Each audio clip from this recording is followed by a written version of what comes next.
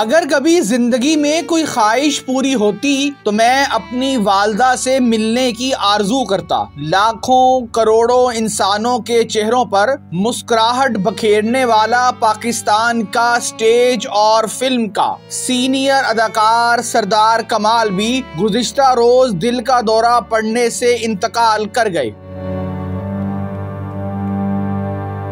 सरदार कमाल 1973 में पैदा हुए। तालीम कुछ खास हासिल ना कर सके। सरदार कमाल को कॉमेडियन बनने का शौक तब हुआ जब उनके वालिद ने उनको पहली फ़िल्म, बाला गुज्जर दिखाई। उन्होंने बताया था, मुनव्वर जरीफ और एक करीबी दोस्त। अच्छू खान की वजह से शोबिस के मैदान में कदम जमाने का फैसला किया। मगर घर में गाय, भैंसे थीं दूध का कारोबार वालिद करवाना चाहते थे, मगर कॉमेडियन बनने का शौक हुआ। घर वालों और खानदान वालों ने शोबिज में जाने पर बहुत एतराज़ किया और बातें सुनाई और कई सालों तक मुझसे नाता तोड़े रखा। खानदान वाले अभी तक नाराज़ हैं कि ये एक्टर क्यों बना। सरदार कमाल के दो बेटे और एक बेटी हैं। सरदार कमाल एक बाकमाल एक्टर, राइटर और डायरेक्टर थे। उन्होंने अपनी ज़िंदगी में तीस के करीब फ़िल्मों में काम किया।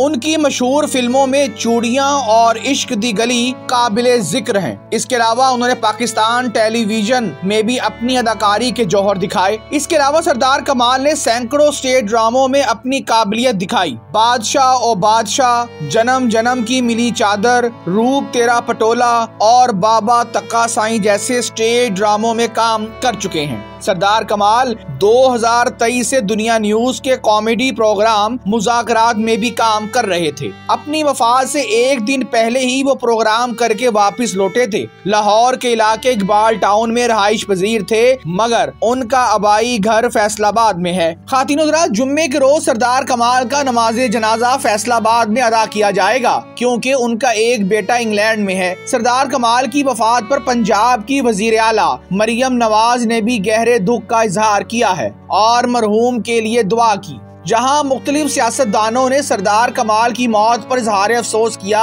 वहीं शोबिस के सितारे भी सरदार कमाल की वफात पर गमगीन हैं। नसीम, विकी, बब्बू राना नासिर चनियोटी, सखावत नाज, अमानत चंद और दीगर फनकार बरादरी ने इजहार अफसोस किया है और कहा है कि ऐसा बाकमाल एक्टर हमेशा के लिए खामोश हो गया। सरदार कमाल की अपनी वालदा से मिलने की शदीद ख्वाहिश थी। आखिरकार वो भी अपनी वालदा के पास ही चले गए।